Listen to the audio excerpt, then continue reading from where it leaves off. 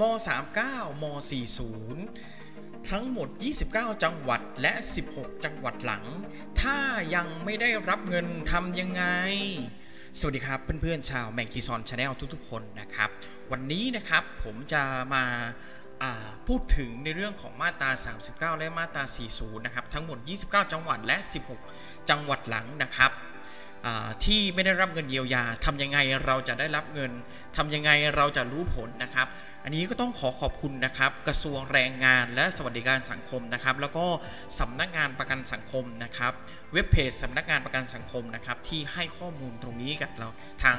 ช่องของเรา นะครับ และที่สำคัญครับ อย่าลืมกดไลค์กด Subscribe นะครับ เพื่อจะได้เป็นกำลังใจให้กับทางช่องหาข่าวสารมาให้ทุกๆท่านนะครับ จะได้รับเงินเยียวยาไปพร้อมๆกันนะครับ เอาละครับ ในส่วนของมาตรา 39 มาตรา 40 นะครับ ทั้งหมด 29 จังหวัดนะครับ แล้วก็ 16 จังหวัดหลังเนี่ย ถ้ายังไม่ได้รับเงินเราจะทำยังไงต่อนะครับ ประกันสังคมครับ ได้มีการชี้แจงออกมาครับว่า ที่มีการปรับเปลี่ยนกำหนดการจ่ายเงินนะครับ หรือวันทบทวนสิทธิ์ ซึ่งวันทบทวนสิทธิ์เนี่ยก็จะเป็นวันที่1นะครับฟังดีๆนะครับเพื่อนๆ ก็จะเป็นวันที่ 1 ถึงวันที่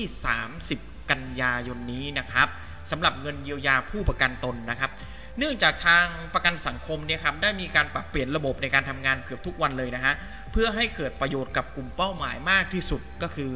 พวกเราที่ถือทางมาตรา 33 39 และ 40 นะครับ ก็เลยมีการเปลี่ยนระบบการทำงานกันบ่อยมากๆเลยในส่วนของประกันสังคมนะครับ ดังนั้นครับในวันที่ 26 สิงหาคมครับ โอนเงินรอบแรกนะฮะ ในส่วนของมาตรา 40 นะครับ ทั้งหมด 29 จังหวัด อันนี้ได้โอนเป็นที่เรียบร้อยแล้วนะครับ โอนเป็นที่เรียบร้อยแล้ว เดี๋ยวเราจะมาชี้แจงอีกทีนึงว่าเขาโอนยังไงบ้างนะครับ ส่วนวันที่ 27 สิงหาคมครับ โอนเงินมาตรา 39 ฟังดีๆนะครับเพื่อนๆ วันที่ 27 นะครับ วันที่ 27 โอนเงินมาตรา 39 ครับ 16 จังหวัดหลัง อันนี้ก็มีคำถามเข้ามาเยอะมากครับ ในช่องเนี่ยก็ต้องขอกราบประธานอภัยเพื่อนๆด้วยนะครับ ที่บางทีเนี่ยไม่ได้ตอบนะครับ ไม่ได้ตอบทุกๆคำถามนะครับ ก็ต้องขออาศัยในส่วนของคลิปวิดีโอนี้นะครับ ถ้าเพื่อนๆยังฟังอยู่ก็ต้องอาจจะเข้าใจนะครับ แต่ถ้าไม่เข้าใจก็ต้องคอมเมนต์เข้ามาครับ เดี๋ยวทางทางทีมงานเนี่ยจะได้อ่านในส่วนของคอมเมนต์แล้วก็หาคำตอบมาให้ทุก ๆ ท่านนะครับ โอเคครับ คราวนี้ครับ สมมุติว่าจ่ายไปแล้วนะครับ แต่ทำไมนะครับยังไม่ได้รับสิทธิ์ ฉันยังไม่ได้เงินเลย เงินยังไม่เข้าเลยนะครับ ทางประกันสังคมนะครับ ได้มีการชี้แจงว่าจะมีการโอนเงินซ้ำอีกทุกวันพฤหัสบดี ดังนั้นครับ บางคนบอกว่าได้รับสิทธิ์แล้วยังไม่ได้เงินเลยนะครับ ไม่ต้องตกใจนะครับ ไม่ต้องตกใจเลย คุณได้รับสิทธิ์แล้วนะครับ ถ้ายังไม่ได้รับเงินจะมีการโอนเงินซ้ำเข้าไปในระบบอีก ทุกๆวันพฤหัสบดี ชัดเจนนะครับ เคลียร์ชัดนะครับเพื่อนๆนะครับ ไม่ต้องตกใจนะครับ คราวนี้ครับ ในส่วนของวันที่ 26 สิงหาคมนะครับ โอนเงินเยียวยานะครับ โอนเงินเยียวยานะฮะในส่วนของมาตรา 40 นะครับ ทั้งหมด 29 จังหวัดพื้นที่สีแดงเข้มนะครับ พื้นที่สีแดงเข้มได้แก่นะครับ 13 จังหวัดแรก ที่ตัดรายชื่อนะครับ ภายในวันที่ 31 กรกฎาคมนะครับ64 มีกรุงเทพ นครปฐมนนทบุนนทบุรีปทุมธานีนะครับ สมุทรปราการนะครับ สมุทรสาครนะฮะ นราธิวาสนะครับ ปัตตานีนะครับ ยะลา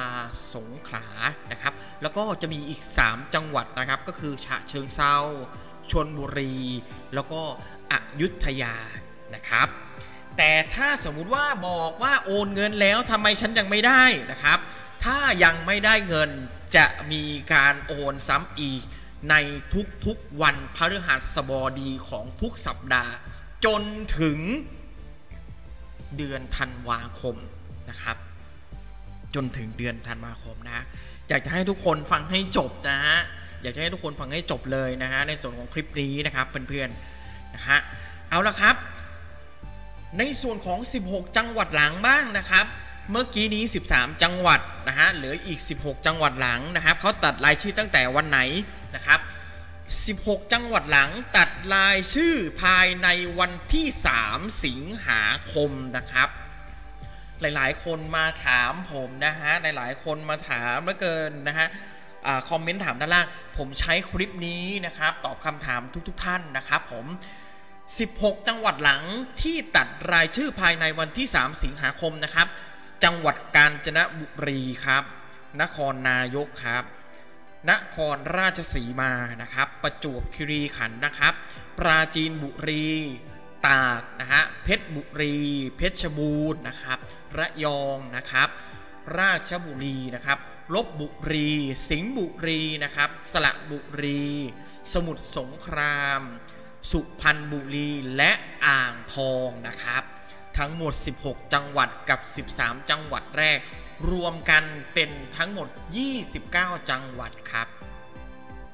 อ่า13 จังหวัดแรกนะครับ ตัดรายชื่อภายในวันที่ 31 กรกฎาคม 16 จังหวัดหลังนะครับ ตัดรายชื่อภายใน 3 สิงหาคมนะครับ เพราะฉะนั้นครับ คนที่สมัครและจ่ายเงินหลังจากวันที่ 3 นะครับ คนที่สมัครและจ่ายเงินหลังจากวันที่ 3 นะครับ ก็จะอยู่ในเรื่องของกลุ่มที่2นะฮะที่จะจ่ายเงินในช่วงเดือนกันยายนกลางเดือนกันยายนนะครับเพื่อนๆนะครับลองย้อนกลับไปดูคลิปของผมนะครับในส่วนของกลุ่มที่ 2 ผมก็ได้ลงคลิปเอาไว้แล้วว่าเขาจะจ่ายในวันไหนนะครับ กลับไปดูคลิปเนาะเพื่อนๆนะครับเอาละฮะในกรณีนะครับได้รับสิทธิ์แต่ยังไม่ได้รับเงิน อันนี้เนี่ย มีข่าวมีประเด็นเยอะมากนะครับ มีคอมเมนต์เยอะมากๆเลย ใต้คอมเมนต์ของเราครับ เอาละให้ตรวจดูข้อมูลส่วนตัวของท่านนะครับ อันแรกเลยเปลี่ยนแปลงชื่อหรือเปล่า 2 ครับ เปลี่ยนนามสกุลไหม